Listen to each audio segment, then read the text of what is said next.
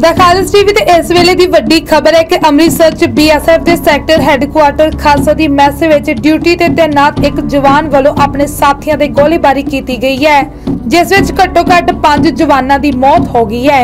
ਇਹ ਘਟਨਾ ਭਾਰਤ ਪਾਕਿਸਤਾਨ ਅੰਤਰਰਾਸ਼ਟਰੀ ਮੋਰਚੇ ਦੇ ਨਾਲ ਅਟਾਰੀ ਵਾਗਾ ਸਰਹੱਦ ਕ੍ਰਾਸਿੰਗ ਤੋਂ 20 ਕਿਲੋਮੀਟਰ ਦੀ ਦੂਰੀ ਤੇ ਵਾਪਰੀ ਹੈ।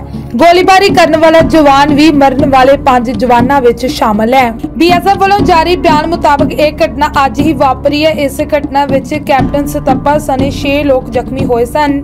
ਇੱਕ ਜਵਾਨ ਦੀ ਹਾਲਤ ਨਾਜ਼ੁਕ ਹੈ।